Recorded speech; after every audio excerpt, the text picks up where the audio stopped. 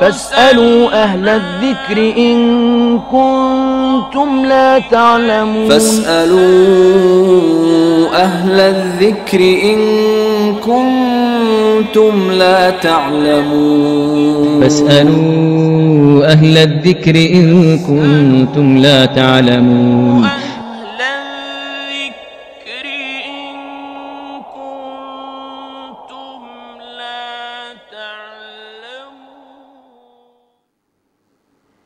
السلام عليكم ورحمة الله تعالى وبركاته.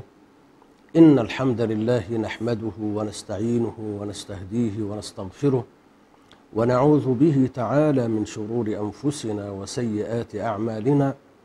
من يهده الله تعالى فلا مضل له ومن يضلل فلا هادي له. وأشهد أن لا إله إلا الله وحده لا شريك له. وأشهد أن محمدا عبده ورسوله. أما بعد أيها الأحبة الكرام أهلا ومرحبا بحضراتكم في حلقة جديدة من برنامجكم أهل الذكر. يسعدنا في هذا اللقاء الطيب المبارك أن نستقبل اتصالات حضراتكم عبر الهاتف لنجيب على أسئلتكم واستفساراتكم بعون الله تعالى وتوفيقه على الهواء مباشرةً. وحتى نتشرف باستقبال اتصالات حضراتكم معي آه، بعض أسئلة لحضراتكم من حلقات سابقة. آه، أخونا السائل الله يكرمه يقول كيف أحسب آه، زكاة محل الملابس عندي إن كان يجب عليه الزكاة أصلاً؟ أقول بالله تعالى التوفيق يبدو أن السائل آه، استمع آه، إلى كلام أو قرأ كلاما لبعض أهل العلم بخصوص زكاة عروض التجارة لأنه ختم السؤال بقوله إن كان يجب عليه يعني على المحل الزكاة أصلا. آه، وزكاة عروض التجارة من أنواع الزكوات الثابتة بكتاب الله عز وجل. وهو مذهب جماهير أهل العلم إلا من شذ. كان شيخنا الألباني عليه رحمة الله ينازع في هذه الزكاة عليه رحمة الله تعالى يعني ينازع في وجوبها. مع أن الدليل الذي استند إليه جمهور أهل العلم في كتاب الله عز وجل واضح في إيجاب الزكاة في عروض التجارة. عروض التجارة هي كل شيء أعد للبيع والشراء والكسب والاستثمار والربح.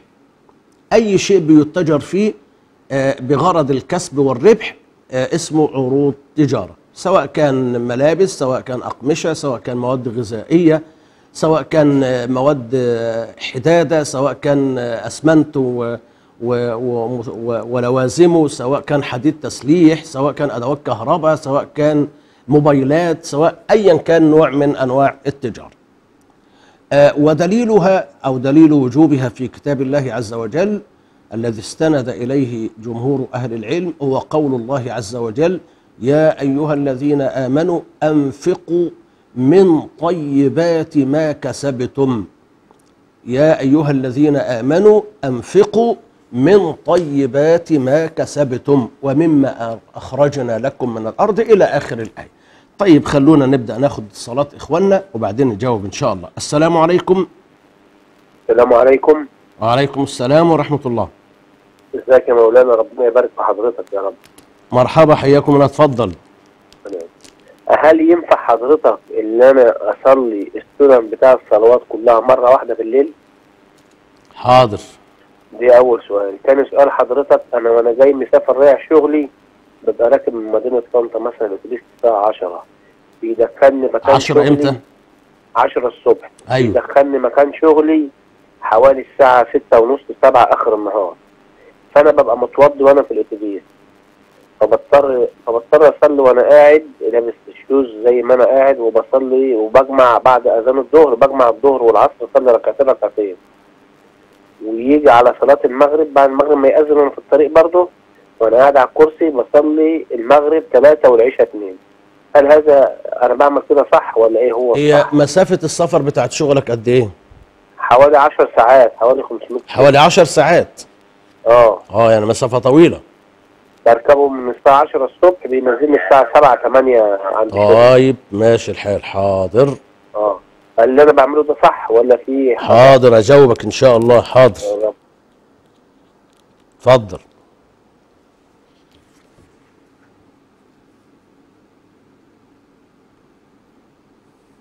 طيب السلام عليكم. السلام ورحمة الله وبركاته. اتفضل. لو سمحت في سؤال بس كنت خير اتفضل. إيه، في سؤال بس لو سمحت كنت عايز أسأله. اتفضل معاك بس وطي التلفزيون الله يكرمك. بقول لك هي هي وال- والدتي والدتي قبل ما تموت يعني بسنة ولا حاجة أنا معاك اتفضل. أنا أنا أنا وأختي ليا أختي يعني فهي والدتي قالت آه إحنا عندنا دار الدار ديت في حدود آه يعني 31000 جنيه 33000 جنيه.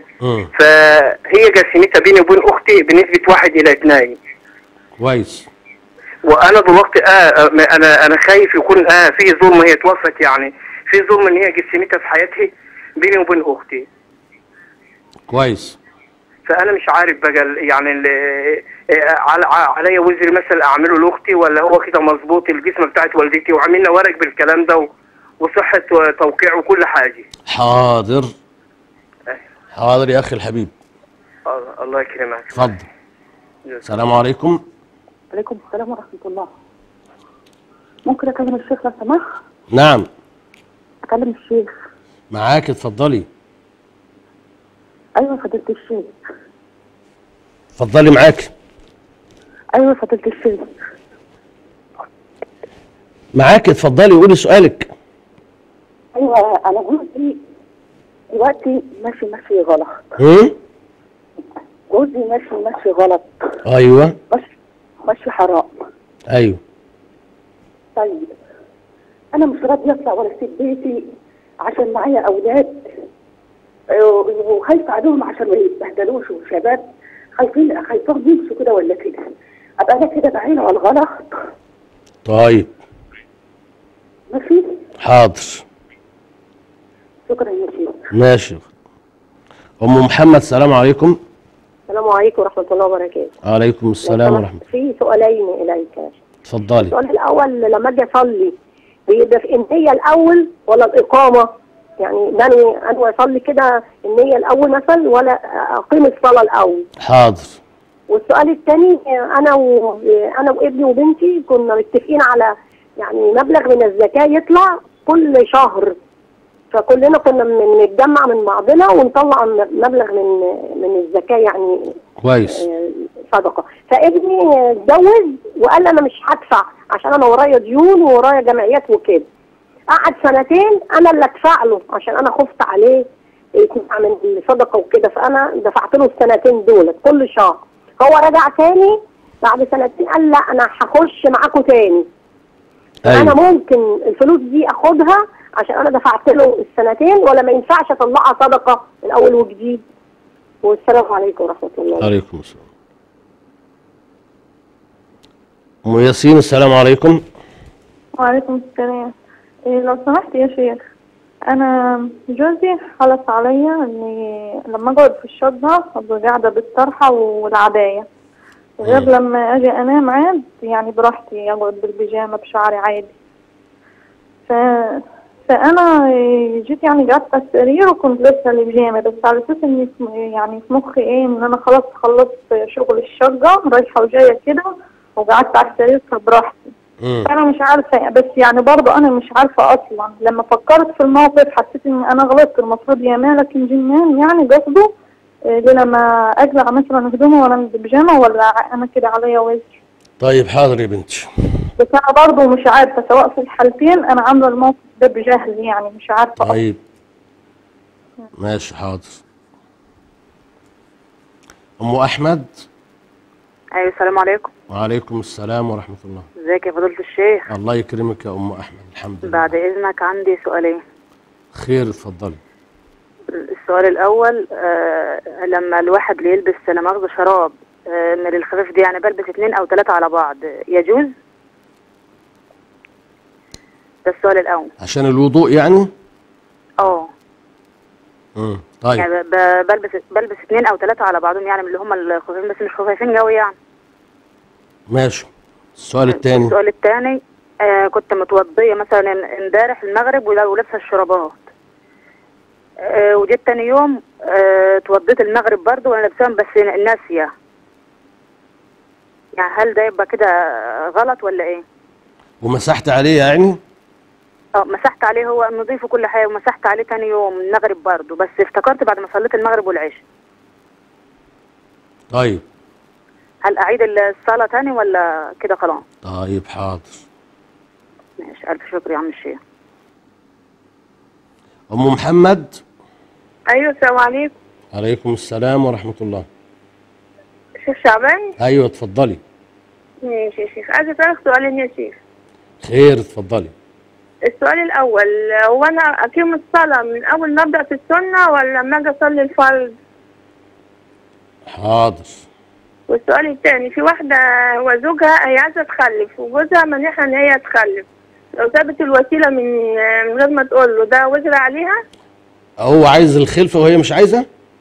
هي هو هي عايزة هو مش عايز. امم فهي عايزة تسيب الوسيلة ومن غير ما تقول له ده حرام ولا إيه؟ حاضر. ماشي يا شيخ. جزاك الله خير. اتفضلي يا بنت الله يكرمك. طيب. نرجع لأخونا اللي كان عايز آه، زكاة عروض تجارة إزاي يحسب زكاة محل محل الملابس. أول حاجة أول خطوة في حساب الزكاة بالنسبة للمحلات يعني عروض تجارة أو لزكاة المال عموما إن إحنا آه، نحدد رأس الحول الموعد السنوي اللي هنأدي فيه الزكاة. طب إزاي بنحدد الموعد السنوي ده؟ من بداية النشاط يعني أنت فتحت محلك بداية مثلا من واحد محرم. خلاص يبقى إن شاء الله في 30 ذو الحجة ولا واحد محرم 30 ذو الحجة آخر السنة أو واحد محرم بداية العام ال- الثاني مباشرة يبقى ده موعد الحول الذي سنؤدي فيه الزكاة. اذا التحديد الموعد ده خاضع لبداية النشاط. طيب الخطوة الثانية إن أنا أبدأ أجرد كل البضاعة الموجودة في المحل وأقيمها بسعر الشراء. الخطوة الثالثة إن أنا أشوف المحل له فلوس على الناس بره يعني المحل له ديون آه، موجودة لدى ال- العملاء والزباين بره آه له. أروح حاسب الديون اللي بره دي كلها تطلع مبلغ كذا أضيفه على قيمة البضاعة اللي أنا جردتها الخطوة الرابعة المحل عليه ديون أيوه عليه طبعا عمالة الشاردة وعليه فواتير كهرباء وعليه ضرائب وعليه الإيجار والكلام ده. اخصم كل ما على المحل من مستحقات وديون. الصافي اللي هيطلع هو ده إجمالي رأس مالك الذي ستؤدي عنه الزكاة هذا العام بواقع 2.5% اللي هو بنقول عليه ربع العشر اللي هو على كل ألف جنيه 25 جنيها فقط. والله أعلم وصلى الله وسلم وبارك على النبي محمد. أخونا المتصل كان بيسأل هل يمكن أن يصلي نوافل اليوم كلها مرة واحدة بالليل؟ لا ما يصحش. ليه ما يصحش؟ لأن الذي سن النوافل وشرع هذه النوافل اللي هو نبينا صلى الله عليه وسلم سنها وشرعها في مواقيت معينة. فخلى ركعتين قبل الفجر. ما ينفعش إن أنا أخليهم بعد الظهر. آه، سن أربع ركعات قبل الظهر. ما ينفعش إن أنا أخليهم بعد المغرب. سن ركعتين بعد الظهر. ما ينفعش إن أنا أخليهم آه، بعد الفجر. سن ركعتين بعد المغرب. ما ينفعش أخليهم في غير وقتهم. سن ركعتين بعد العشاء. ما ينفعش برضو أخليهم في غير وقتهم إلا في حالة واحدة. حالة النسيان أو النوم. نام ونسي يصلي النافلة اللي بعد الظهر وصحي. في أي وقت صحي؟ بعد العصر صحي بعد المغرب. أصلي النافلة اللي أنا كنت نايم عنها دي أيوه يجوز في هذه الحالة أصليها في نفس اللحظة دي حتى لو كان بالليل وهي صلاة نهار حتى لو كان بالنهار وهي صلاة بالليل. آه يعني اذا حالة النسيان أو حالة النوم ليه؟ لأنه رفع القلم عن ثلاثة عن النائم حتى يستيقظ وعن ال- آه، آه، عن النائم حتى يستيقظ وعن الصغير حتى يحتلم إلى آخر الحديث. أيضا النبي عليه الصلاة والسلام قال في الحديث المشهور من نام عن صلاة أو نسيها فليصلها إذا ذكرها لا كفارة لها إلا ذلك. وأيضا قال النبي صلى الله عليه وسلم رفع عن أمتي الخطأ والنسيان وما استكرهوا عليه. إنما في غير حالة ال- النسيان وفي غير حالة ال- النوم لا يجوز إن إحنا نبدل النوافل من وقت فنخليها في وقت آخر. هذا والله أعلى وأعلم وصلى الله وسلم وبارك على النبي محمد. اخونا بيسافر الله يعينه بيسافر مسافة طويلة جدا عشر ساعات في الأتوبيس ولا في القطار. وطبعا بيأذن عليه الظهر والعصر في القطار غالبا بيركب الساعة 10 الصبح. وبيأذن عليه المغرب والعشاء أيضا في القطار ولا في الأتوبيس. فالراجل بيكون متوضي الحمد لله وبيصلي الظهر والعصر جمعا وقصرا. زين ما فعلت.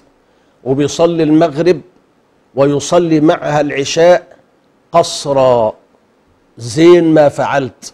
ما دام مسافة سفر معتبرة شرعا وليس هناك ثمة وسيلة أخرى أو طريقة أخرى أصلي إن أنا مثلا الأتوبيس يركن وإحنا نصلي في في على قارعة الطريق أو شيء من هذا القبيل فأنت تصلي على حالك ما دمت على وضوئك. ولو انتقض وضوءك فإنك في هذه الحالة تتيمم في نفس المكان اللي هو الأتوبيس ولا القطار تتيمم وتصلي على حالك تجمع ما يجمع من الصلوات وتقصر ما يقصر من الصلوات الرباعية. والله عز وجل يقول لا يكلف الله نفسا إلا وسعها هو ده اللي هتقدر تعمل تعمله مش أكثر. ولأن النبي عليه الصلاة والسلام يقول ما أمرتكم بأمر فأتوا منه ما استطعتم. هذا والله أعلم. وصلى الله وسلم وبارك على النبي محمد. أخونا المتصل كان بيسأل الوالدة الله يرحمها آه، آه، هو وأخته. والبيت تقريبا قيمته 30 31 32 ألف جنيه. فالوالدة رحمها الله أرادت ألا يختلف ابنها مع بنتها أو بنتها مع ابنها أو أن يجور الابن على أخته أو تجور الأخت على ابن على أخيها. فعملت إيه؟ راحت جايبة ورق وكاتبة مشارطة قسمة وأعطت للذكر مثل حظ الأنثيين. إدت البنت سهم وإدت الولد سهمين. زين ما فعلت الأم الله يرحمها لأنها فعلت هذا حتى ولو كان طبعا على رأس حياتها. فعلت هذا أولا راعت فيه قسمة الشرع. الأمر الثاني أرادت ألا يختلف الأبناء بعد موتها. الأمر الثالث أنها أرادت أن تمنع ظلم أي منهما للآخر. فوالله زين ما فعلت الله يكرمها.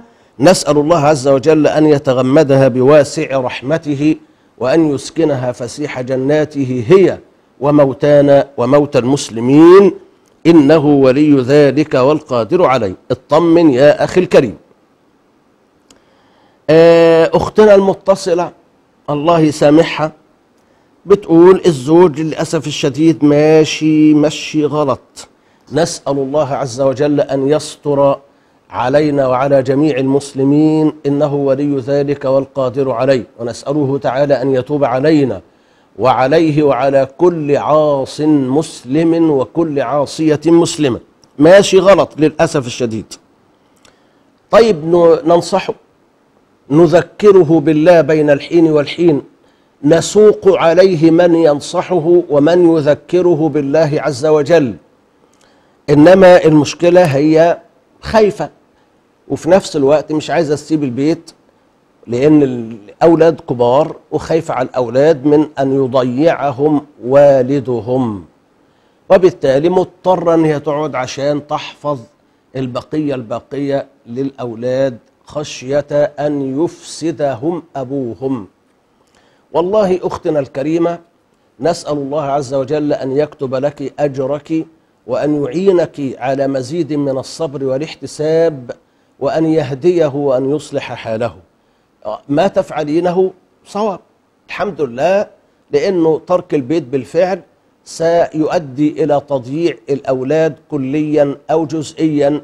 نسأل الله أن يحفظهم وأن يحفظ أولادنا وأولاد المسلمين. فاصبري واحتسبي وذكري بين الحين والحين وانصحي في الله بين الحين والحين ولا تشاركي في أي من الباطل الذي يريد أن يخوض فيه.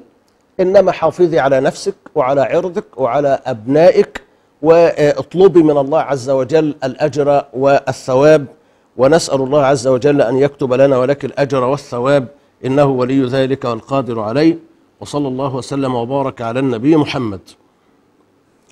يبدو أن في اتصال. السلام عليكم. عليكم السلام ورحمة الله وبركاته شيخنا. بارك الله في عمرك ربنا يكرمك يا شيخ. آه، زوجي حط مبلغ المعاش في بنك أبو ظبي الإسلامي. أيوة. فهو فعلا إسلامي ولا؟ حاضر. شكرا. ربنا يبارك لك يا شيخ. الله السلام يكرمك. بارك الله فيك يا بنتي أم وائل السلام عليكم. السلام عليكم يا شيخ شعبان وعليكم السلام ورحمة الله. ازي صحتك عامل إيه؟ الحمد لله بخير. ربنا يسوى من بعد اذنك خير يا أم وائل اتفضلي.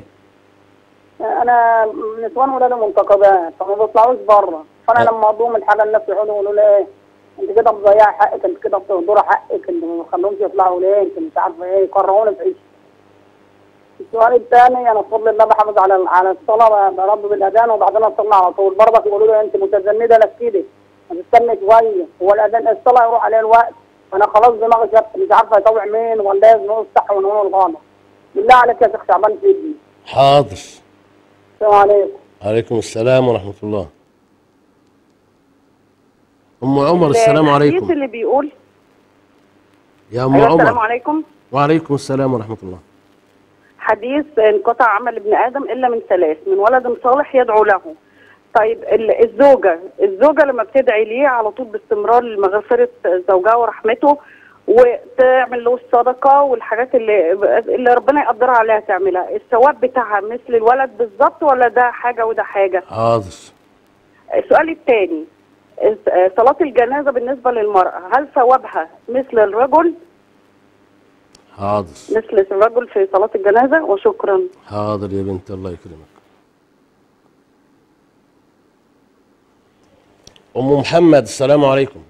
عليكم السلام ورحمة الله وبركاته. بعد إذن حضرتك أنا كنت سألت حضرتك الأسبوع اللي فات على ال- الشاب اللي عندي اللي هو كان معاق ذهنيا وتوفى وأنا ما عنديش غيره. أيوه. فحضرتك قلت لي إن هو ممكن ربنا يوم القيامة يسأله إذا كان يسجد أو ما يسجدش وممكن يشيل يعني هو الحمد لله والله يا فضيلة الشيخ حتى وهو في الظروف دي كان بيجيب لي ساعة ما يسمع الأذان يجيب لي المصلية ويجيب لي الخمار. وكان كويس جدا يعني رغم ان الإعاقة الذهنية بتاعته. بس أنا بشوفه في المنام بالله عليك طمنا على حتة المنام دي. بشوفه في المنام دايما عامل حمام على نفسه وعايزني اشطفه هل هو كده محتاج صدقة جارية زينا أو محتاج حاجات زي زينا إحنا اللي أصحاب الذنوب يعني؟ حاضر. بالله حاضر. عليك ربنا يخليك يا رب. حاضر. السلام عليكم عليكم السلام ورحمة الله وبركاته. ألو السلام عليكم. عليكم السلام ورحمة الله. عم الشيخ شعبان؟ اتفضل يا أخ أحمد. أيوه يا باشا. آه، حضرتك دلوقتي أنا في رمضان آه، آه، شربت بعد الأذان. أيوه. فكان في حديث كده بيقول إن ممكن الواحد لو معاه مية وعايز يشرب يكمل بتاع المية. أيوه. هل هذا صحيح ولا إيه؟ حاضر. يعني أنت شربت بعد الأذان ولا أثناء الأذان؟ لا أثناء الأذان. طيب ماشي. حاضر. يعني الصيام الصيام الصيام صح؟ حاضر. أم حبيبة. أيوه أيوه يا شيخ السلام عليكم. وعليكم السلام ورحمة الله. بقول لحضرتك يا شيخ دلوقتي لو لو الزوج مسافر لو إيه؟ هل لازم لو الزوج مسافر أيوه. هل لازم إن هي تقول له قبل ما تخرج من البيت حتى لو مشوار صغير؟ حاضر. شكرا لحضرتك يا شيخ. الله يكرمك يا بنتي اتفضلي طيب. آه.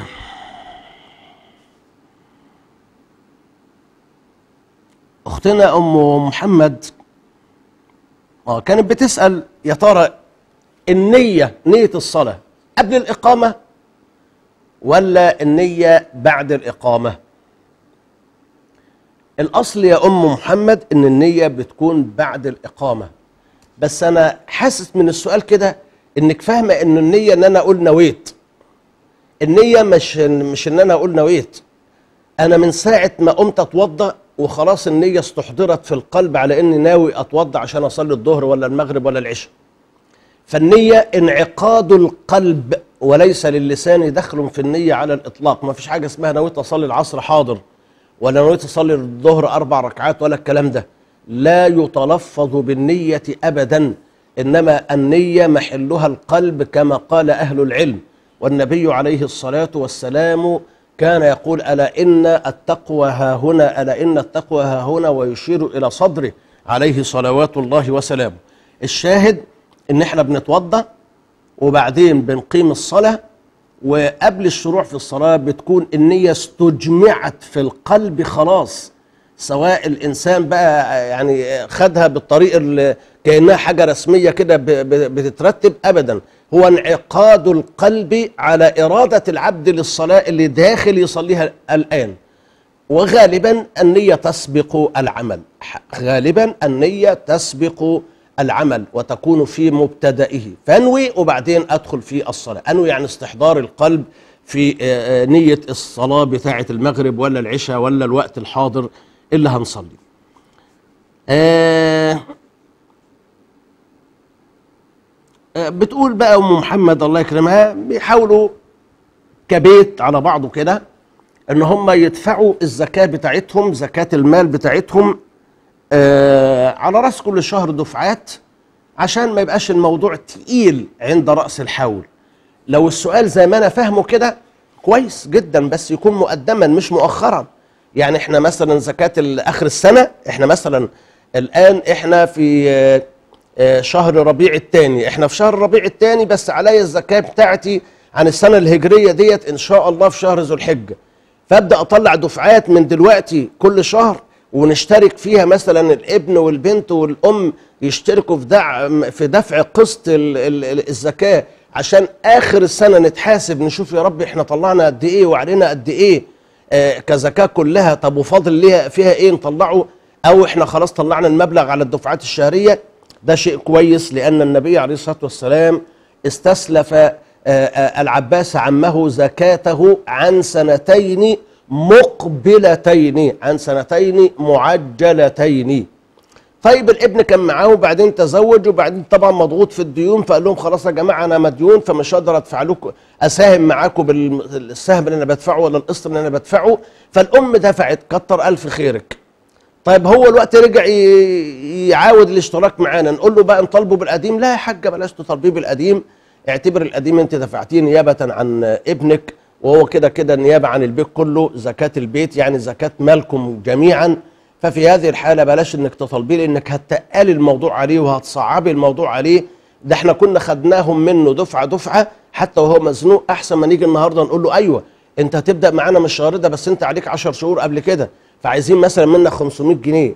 لا بلاش الحكاية ديت لأن هنتقل الموضوع عليه. وإنك دفعتي وأجرك كتب عند الله سبحانه وتعالى إن شاء الله. ونسأل الله لنا ولك القبول. والله أعلم. وصلى الله وسلم وبارك على النبي محمد. بنتنا أم ياسين الزوج للأسف حلف بقى الحلفان الصعب ده اللي هو الحلفان بالطلاق. يعني إنك لازم تبقي اليوم كله قاعدة بالطرحة والعباية ومش عارف إيه ولا تتخففي من ملابسك إلا بالليل خالص إذا كنت في غرفتك الخاصة. وهي نسيت نسيت مرة وعملت يعني خلعت الطرحة وال وال وال والعباية وأصبحت بلبس البيت شوية. فبتقول أنا فعلت هذا جهلا ونسيانا. اولا أنا مش مع الزوج في ال في ال في التح يعني ال- الحساب العسير ده. ليه كده؟ أنت قافلها كده ليه؟ أمال هم جعلوا البيت ليه؟ البيت آه، ده سكن ال- الزوجة. وقرن في بيوتكن وقرن كما قال بعض أهل العلم من الاستقرار في البيوت. فاستقرارها في البيوت لم يشترط عليها الشرع أن يكون بحجابها وعبايتها السوداء وطرحتها وخمارها ونقابها والكلام ده. أمال هتتخفف من ملابسها إمتى؟ هي ببيتها هي حرة تلبس ما شاءت من الثياب. ما دام ليس هناك أحد غريب ولا أجنبي يدخل عليها البيت دون علمها. فبالتالي آه، آه، آه، الزوج مزودها شويتين. نسأل الله عز وجل أن يسامحنا وأن يسامحه. وأنت يا بنتي يا أم ياسين ما دام فعلت هذا خطا ما دام فعلت اللي حصل ده نسيانا ما دام حصل منك جهلا فإن هذا كله معفو عنه ولا يقع به شيء إن شاء الله عز وجل. ورفع عن أمتي النبي قال كده عليه الصلاة والسلام في حديث ابن عباس رفع عن أمتي الخطأ والنسيان وما استكرهوا عليه. وفي القرآن ربنا لا تؤاخذنا إن نسينا أو أخطأنا. هذا والله أعلم. وصلى الله وسلم وبارك على النبي محمد. أختنا أم أحمد الله يكرمها بتتوضأ وتلبس ما شاء الله. جوربين ثلاثة مرة واحدة يعني طبعا عشان البرد والكلام ده. فبتلبس جوربين ثلاثة عشان طبعا تبدأ تاخد برخصة المسح على ال- الجوربين آه، مشكلة حاجة أم أم أحمد ولا أم محمد؟ آه لا أم أحمد. المشكلة إنه أهل العلم اشترطوا في هذه الحالة إنك لما تتوضي وعايزة تمسحي على الجورب هتمسحي على الجورب الأولاني اللي تحت خالص. مش التاني اللي فوق منه ولا التالت اللي فوق منهم. ليه؟ لأن الأولاني ده هو الجورب الذي أدخلت فيه رجليك طاهرتين. إنما الرجلين أعزكم الله ما دخلتش في الشراب الثاني وما دخلتش في الشراب الثالث اللي فوق منهم. إنما دخلت في الشراب الأولاني الجورب الأولاني. وبالمناسبة إحنا نقول الجورب ما نقولش الشراب لأن الشراب هو الشراب اللي بنشربه.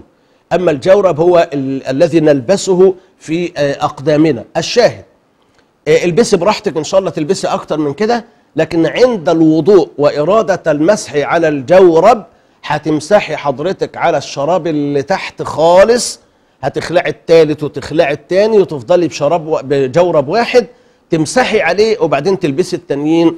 مفيش مشكلة إن شاء الله.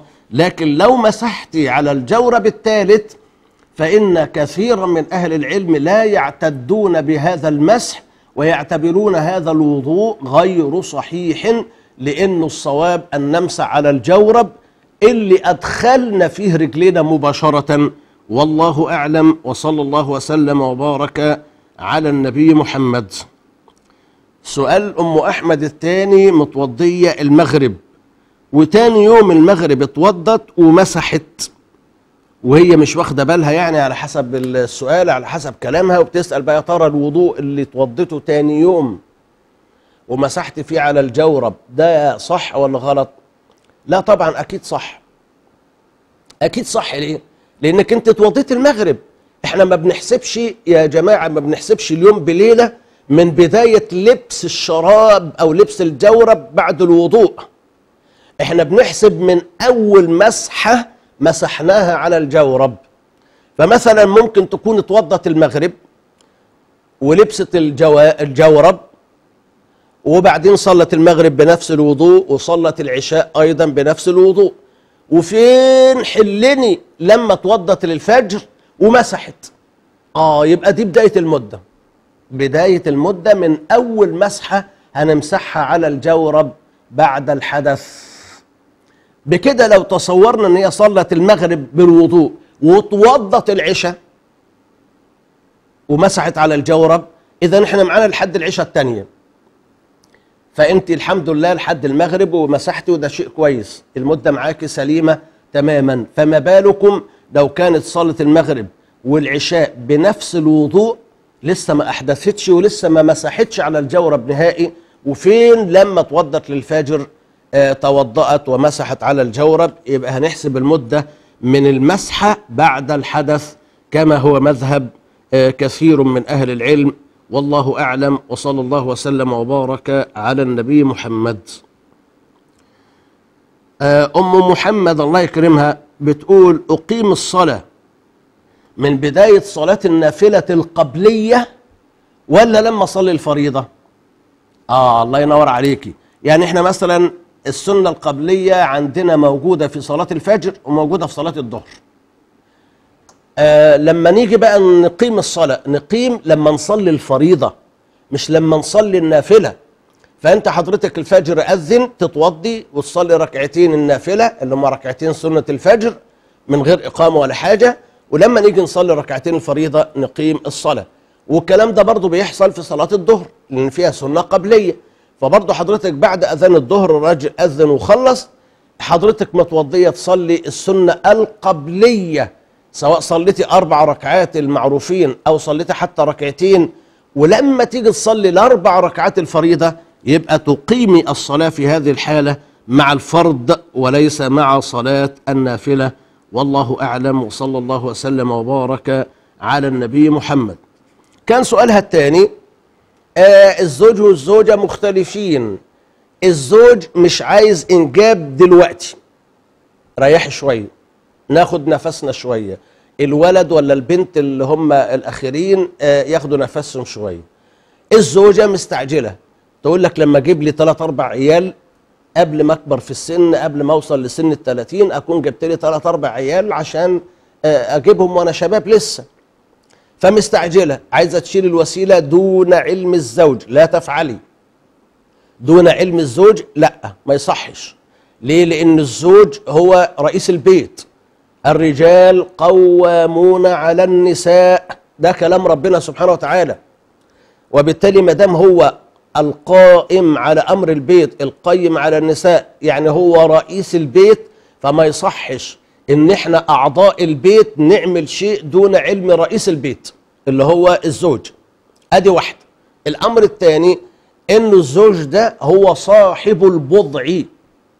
فما يصحش لصاحب البضع الذي يكون منه الإنجاب إن إحنا نعمل شيء خلاف علمه أو بدون علمه.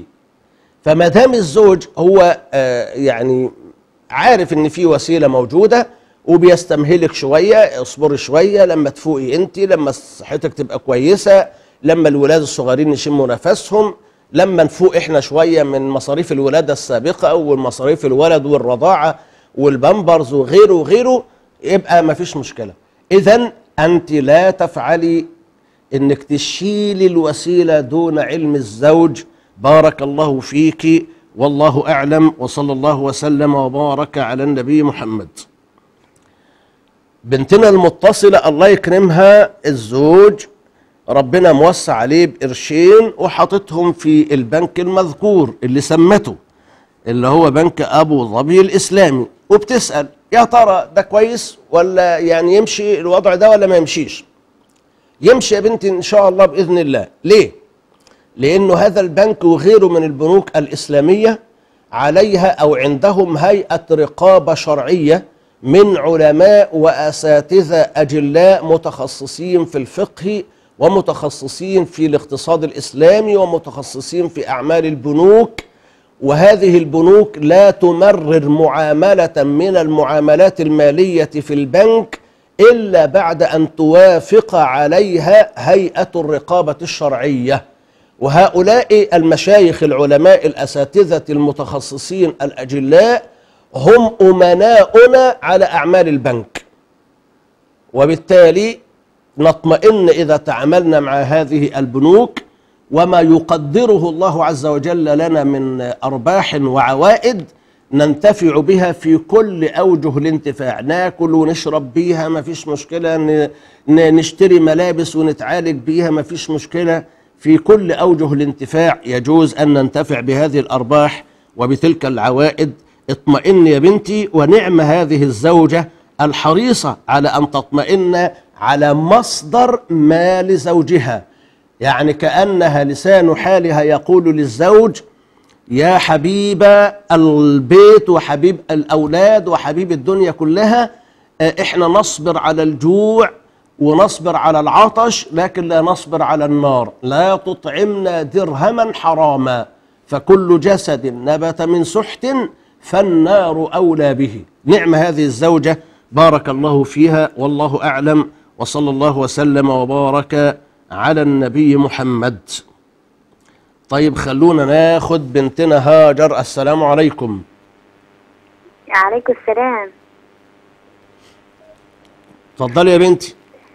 عليكم السلام يا شيخ. نعم. آه بص عايزة أسألك على سؤال. خير يا ربي. الربط الربط المرأة وهي صغيرة حرام ولا حلال؟ إيه؟ الربط يعني. الرقص. أيوة تربط يعني. أيوه. وهي صغيرة يعني إيه يعني؟ يعني حوالي آه 45 45 دي صغيرة يا بنتي؟ يعني 45 سنة. حاضر. حاضر. آه وهي يعني ما ما ما عارفينش هي عارفة حلال ولا حرام. طيب حاضر ماشي الحال. في سؤال تاني؟ لا شكرا. طيب يا بنتي توكلي على الله. هاني السلام عليكم. وعليكم السلام ورحمة الله وبركاته. ازيك يا مولانا؟ اتفضل يا عم هاني. أنا أحبك في الله. حبك الله الذي أحببتني فيه. جزاك الله عنا خير يا شيخنا. الله يكرمك يا حبيبي اتفضل. دلوقتي أنا بزرع آه، أشجار زي مثلا الخوخ والرمان والطماطم والخضار اللي هو ال- اللي ده. ال- لو عندي أنا مثلا دين مثلا مديون مثلا ب مثلا 500 ألف وربنا رزقني مثلا في في الموسم ب 200 ألف فسديت 100 ألف وال 100 ألف الأخرى استبقيتها لمصاريف المزرعة. ال 100 ألف اللي أنا استبقيتها لمصاريف المزرعة ديت عليها زكاة ولا ما عليهاش زكاة؟ حاضر. يعني أنا ما زلت مديون. سديت جزء وجزء استبقيته لمصاريف المزرعة. ال 100 ألف اللي أنا مستبقيها لمصاريف المزرعة ديت تزكى ولا ولا لا تزكى؟ وإذا كانت تزكى تزكى بنسبة كام؟ حاضر. شكرا يا مولانا جزاك حاضر يا عمنا الله يكرمك. السلام عليكم. وعليكم السلام ورحمة الله. كيف حالك الشيخ؟ اتفضل يا عمي. الله يكرمك. آه، كان عندي سؤال في ال- في الحج. كنت حجيت في سنة من السنوات آه، حج حج متمتع. أيوه. فما كنتش أعرف على موضوع ال- اللي هو الذبح اللي هو الهادي. أيوه. فكان في واحد بيجي في الفندق بيلم فلوس على أساس اللي هو الذبح أيوه. ف- فإن النية عندي ما كانتش يعني ما كانتش على الهدي. ما كا- كانت النية مفترضة مش عارف إذا كان ده اللي هو ذبح الأضحية أو ال- أو أي حاجة تاني. كويس. لكن عارف دفعت. هل هل هل يلزمني ذبح تاني؟ ولا لكن انت دفعت. أنا دفعت نعم نعم. طيب خير إن شاء الله. بس بس النية النية ما كانتش ما كانتش لجهة معينة إذا كان إذا كان هدي أو أو أو أضحي. حاضر. الله يكرمك بارك اتفضل الله يكرمك. أخونا فارس. أخونا فارس. أيوه السلام عليكم. وعليكم السلام ورحمة الله. مولانا عامل إيه؟ بخير والله الحمد لله.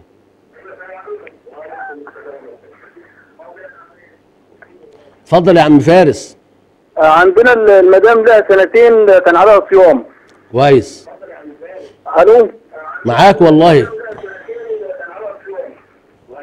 فهي بتصوم فيه حاليا دلوقتي يعني. هل يجوز ولا لازم كفارة؟ حاضر. حاضر يا عم فارس.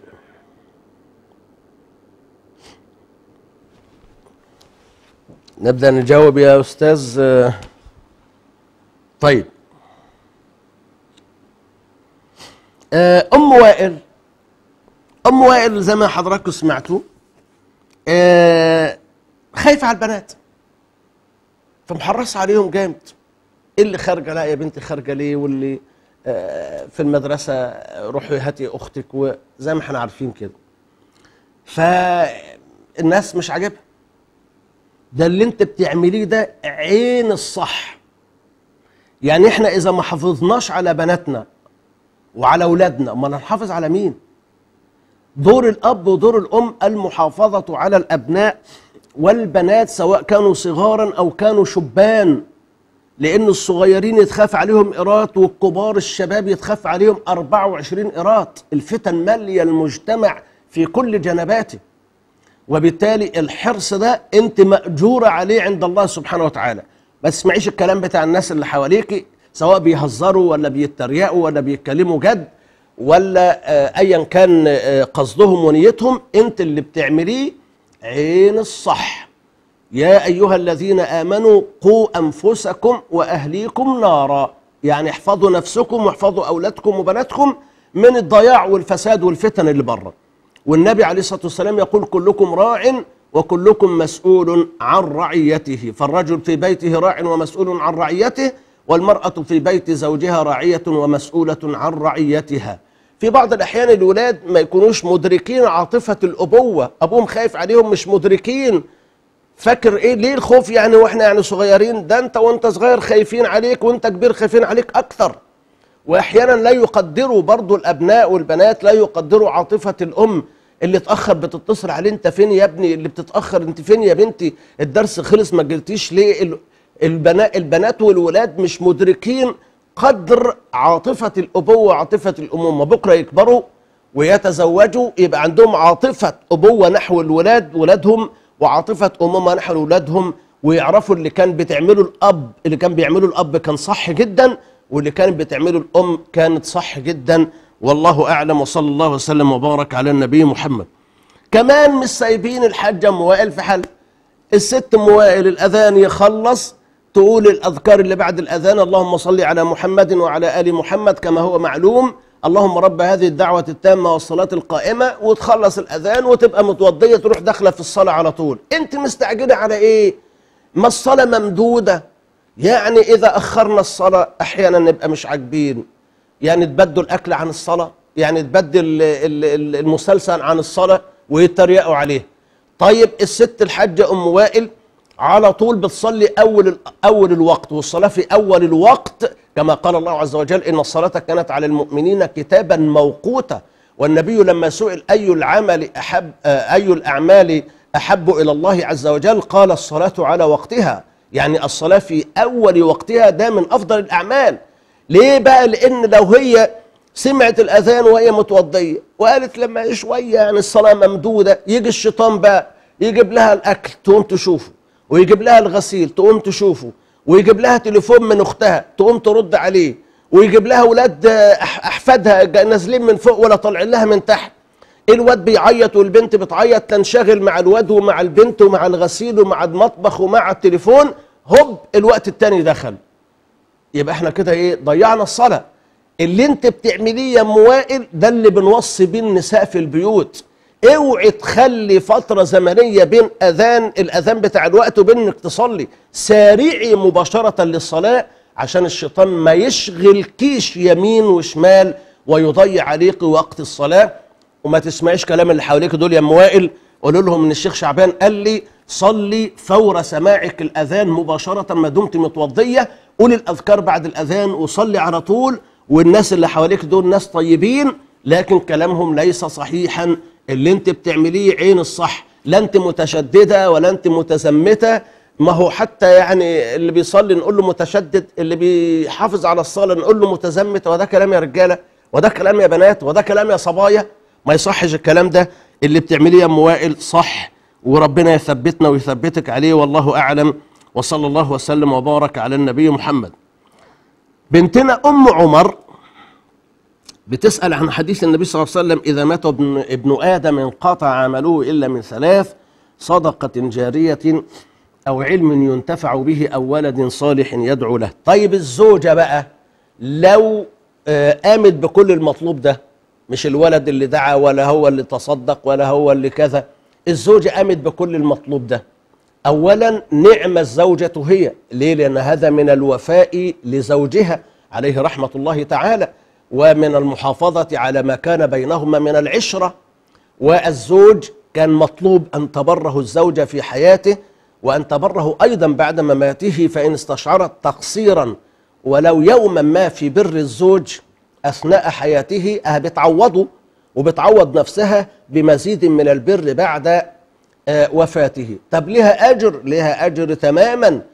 زيها زي الابن بالتمام والكمال زيها زي الولد بالتمام والكمال. لمن عمل صالحا من ذكر أو أنثى وهو مؤمن فلنحيينه حياة طيبة. والله عز وجل لا يضيع أجر من أحسن عملا. ما فيش فرق بين الولد وبين البنت وبين الابن وبين الزوجة في هذا المقام والله أعلم. وصلى الله وسلم وبارك على النبي محمد. زيه تماما المرأة لو صلت صلاة الجنازة. لو الست صلت صلاة الجنازة مشروعة أيوة مشروعة. ولو اتبعت الجنازة أيضا مشروعة وإن كان هذا خلاف الأولى. ليه؟ لأنه لا يؤمن من النساء الصياح والصراخ والبكاء وال يعني الكلام الذي يمكن أن يكون فيه نوع من التضجر من قدر الله عز وجل إنما لولا ذاك لا نمنعهم أبدا إذا حضروا الجنازة وهن محجبات محتشمات صابرات محتسبات وأجرها في ذلك إن شاء الله كأجر الرجل سواء بسواء والله أعلم وصلى الله وسلم وبارك على النبي محمد. أختنا أم محمد. الله يكرمها ابنها اللي كان معاق ذهنيا وتوفي وليس لها إلا هذا الابن. وقلنا لك قبل كده يا أم محمد إن شاء الله عز وجل آه، آه، ربنا عز وجل يجعله من ولدان الجنة حول الخليل إبراهيم عليه وعلى نبينا صلوات الله وسلامه. آه، دايما بشوفه هو في الوضع اللي كان عليه في الدنيا. هذا حديث نفس يا أم محمد اللي انت بتشوفيه ده حديث نفس يعني تكرار للي كنت بتعمليه مع الولد زمان. أيام كان عايش وكنت انت اللي بتغسلي له وانت اللي بتنظفي له وانت اللي بتلبسيه وانت اللي بتاكلي أكلي وتشربي. فكل ده شريط بيعاد في عقلك الباطن يا أم محمد. لكن هذا لا يقلقك ابدا لأن المتوفى أو الميت ده لم يكن آه، مكلفا شرعا. عشان نقول أصله عنده شوية ذنوب ومعاصي فنتصدق له أو ندعو له أو أو ده بالعكس إحنا ندعو لأنفسنا ونتصدق ونتصدق عن أنفسنا أما هو ففي رحمة الله تبارك وتعالى والله أعلم وصلى الله وسلم وبارك على النبي محمد. أخونا أحمد في شهر رمضان الراجل الطيب ماسك كوباية المية والأذان أذن فراح مكمل الشرب صيامك صحيح يا عم أحمد.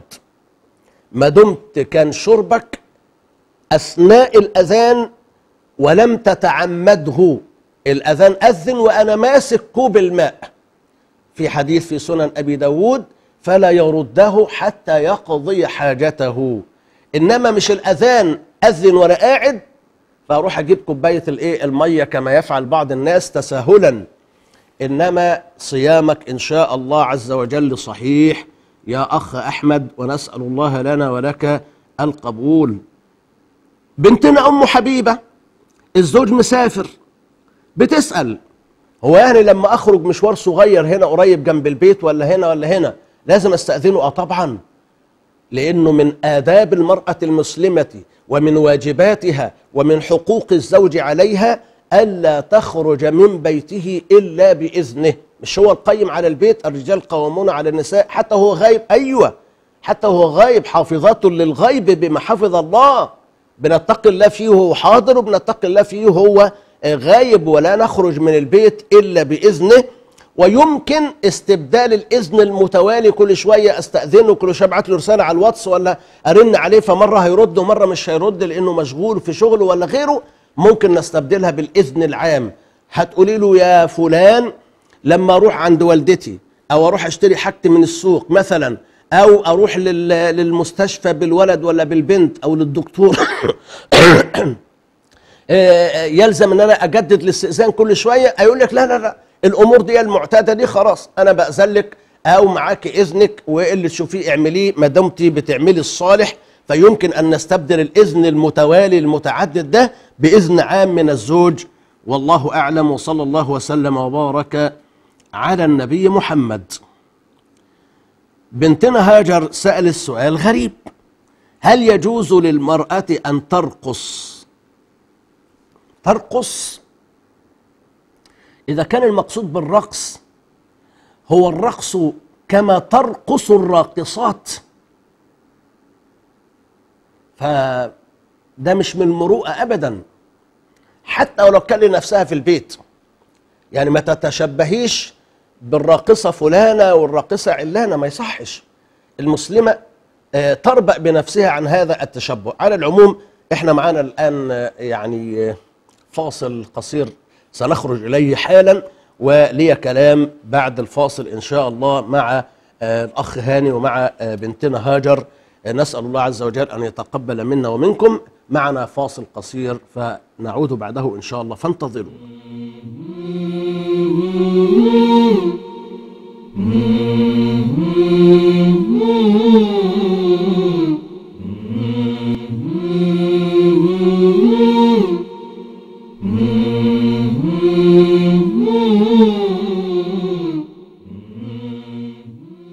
السلام عليكم ورحمة الله تعالى وبركاته.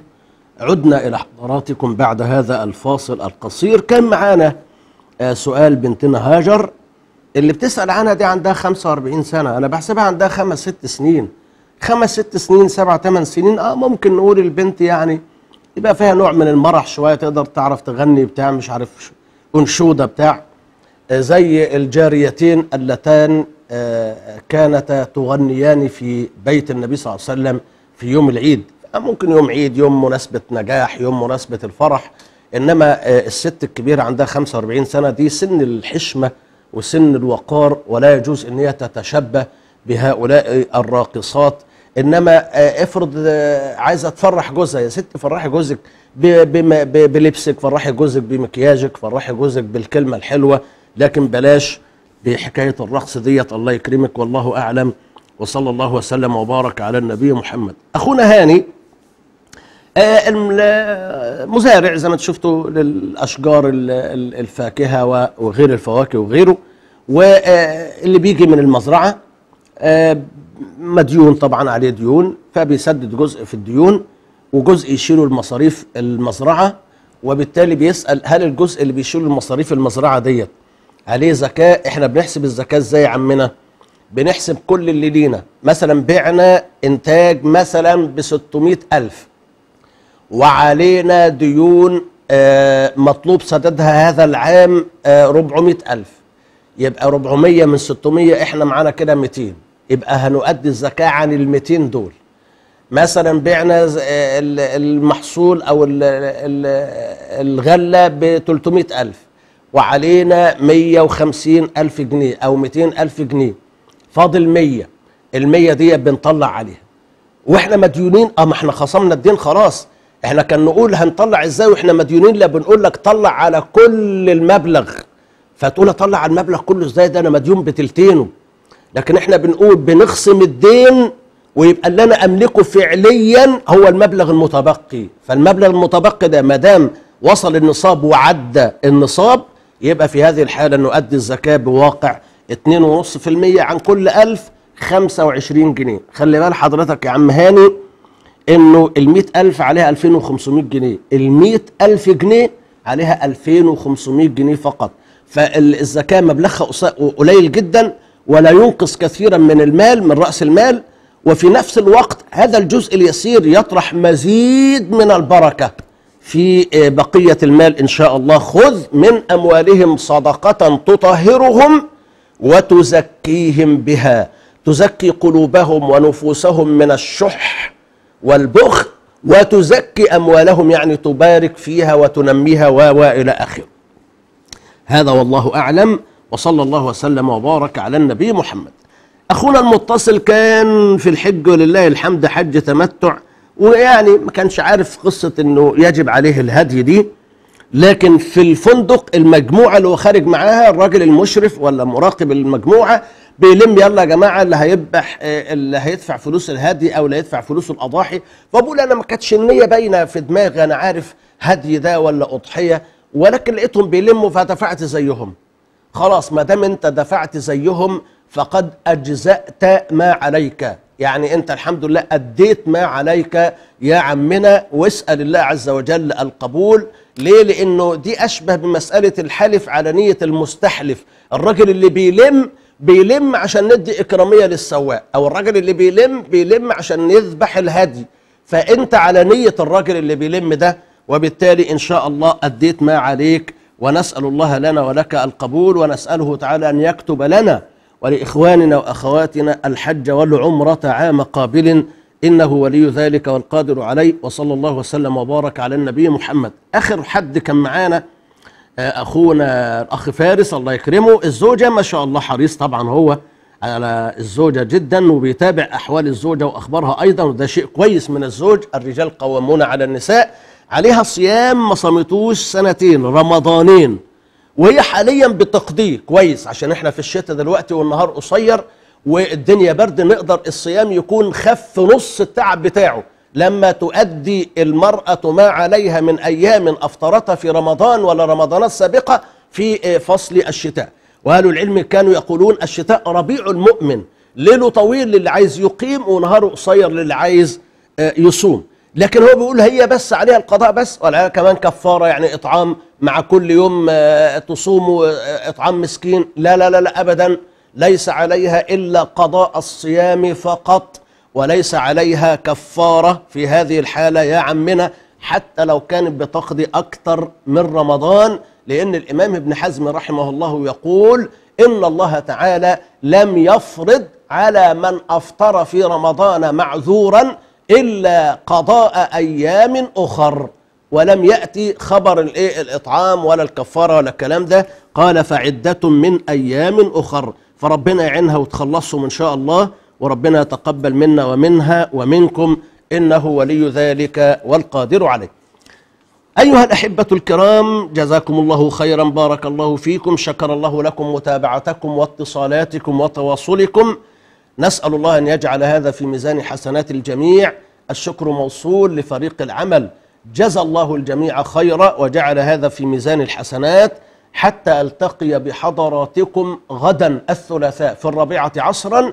لا تنسوا دعم قناة الندى بدعواتكم أي بدعائكم أو بصدقاتكم الجارية أو صدقاتكم العامة أو زكاة أموالكم حتى يقيل الله القناة من عثرتها ويبقيها مضيئة في بيوتنا وقلوبنا. إنه ولي ذلك والقادر عليه. هذا وصلى الله وسلم وبارك على النبي محمد وعلى آله وصحبه. وسلام الله عليكم ورحمته تعالى وبركاته. فاسألوا أهل الذكر إن كنتم لا تعلمون فاسألوا أهل الذكر إن كنتم لا تعلمون فاسألوا أهل الذكر إن كنتم لا تعلمون